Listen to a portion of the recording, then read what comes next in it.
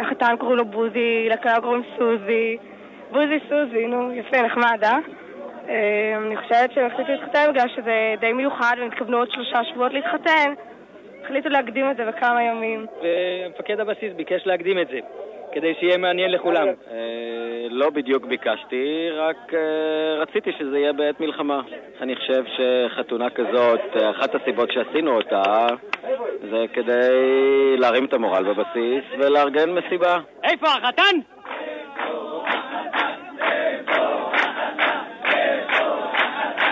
שלם, שלם, שלם.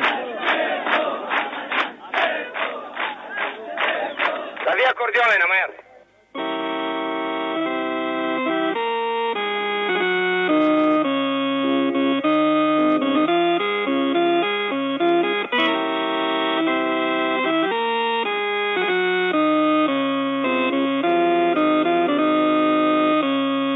ליום שישי בשבת, שלושה ועשרים יום לחודש תשרי, שנה שביעית לחירות ירושלים, ענן סעדיך הבחור, ברוך ברב יעקב, אמר לה דפלותא שפירתא, שושנה בת רב אפרים, הביא ללאינטו כדת משה וישראל. עצם העניין שאתם מתחתנים כאן, בעיצומה של מלחמה, מעודד את כולנו. אנחנו רואים בכך סימן לרצון של עם ישראל לבנות ולהיבנות ויהי מה.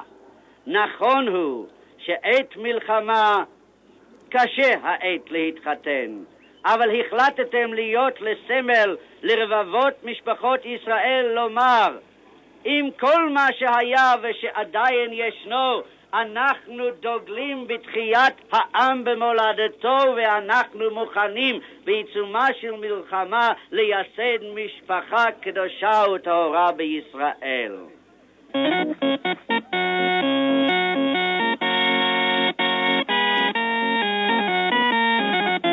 אני אבא של החתן, מה אני אומר לך?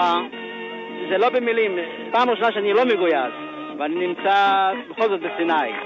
פעמיים, פעמיים הקודמות, גם ב-57 הייתי בסיני, וגם ב-67 הייתי בסיני. והפעם יצא לי לחתן את הבן בסיני. תשאר לך את האושר, כמה שאני מאושר, ובכלל, שהמצב בחזית הוא גם לטובה. ככה שאני ממש מאושר, אין מילים בפי. אה, אני לא, אני לא יכול, אני ממש מתרגש.